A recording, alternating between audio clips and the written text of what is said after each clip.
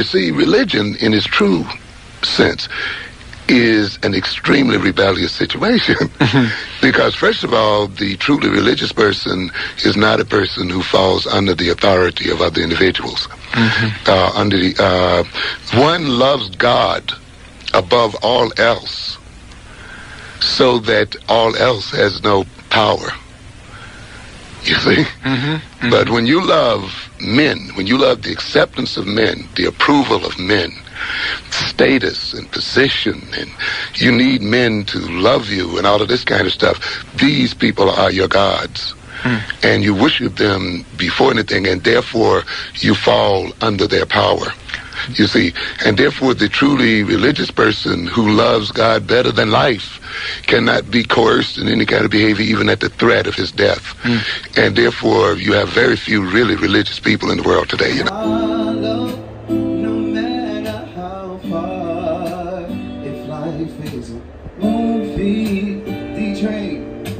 follow no matter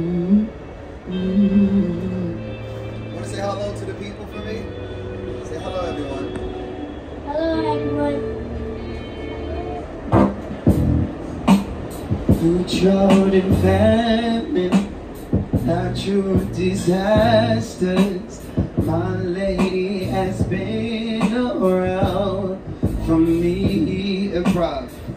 The train be strolling, strolling, 59 streets coming. How to spell my freestyling. Shout out to those listening. I'm rhyming. Mm-hmm.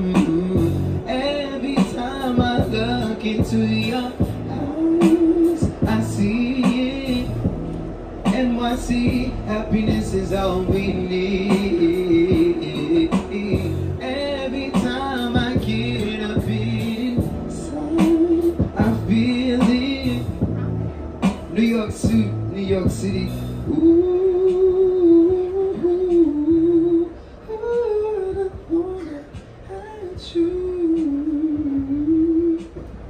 Blessings, blessings, blessings.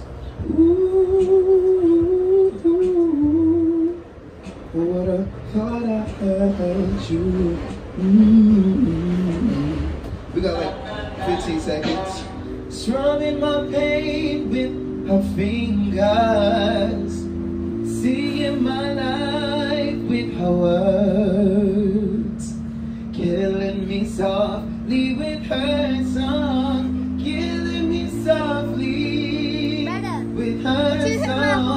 Telling my whole life with this D-Train song. Killing me softly with her song. Yes, blessings, blessings.